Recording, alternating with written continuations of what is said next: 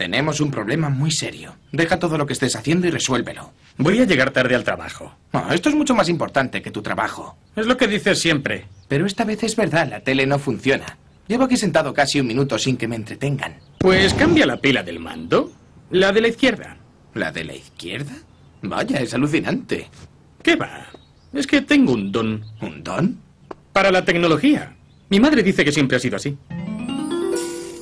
Preocupada por el pequeño Dilbert. No es como los otros niños. ¿A qué se refiere? Ayer le dejé solo en casa durante un minuto y desmontó la tele, el reloj y la cadena. Eso es perfectamente normal. Los niños rompen cosas.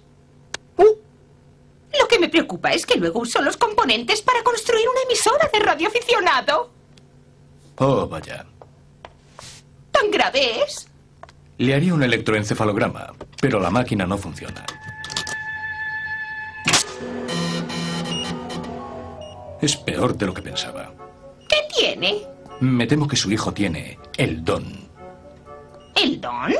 El don es una extraña disfunción caracterizada por una gran intuición en todo lo relacionado con la mecánica y la electricidad y una profunda ineptitud social. ¿Podrá llevar una vida normal? No, será ingeniero. Vamos, vamos, no se culpe. ¿Se le pasará con el tiempo? Quizá, pero esperemos que no. Si un ingeniero pierde su don, los resultados pueden ser devastadores.